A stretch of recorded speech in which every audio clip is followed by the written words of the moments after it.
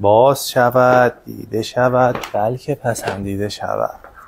این فرش رو مگه میشه نپسندید؟ نقشه گنبد اشکی اونم از نوع سرمه آبیش. اینا همه هفتاد درجه عزیزان. سایز سمتریه. نقشه محبوب و پرطرفدار. اینم برقشه. چون یه ذره رجش درست درشتره مثل قالیه دیگه اونجوری موج نمی‌خوره. برای کار بسیار عالی هست. من در خدمتتونم. ارادت.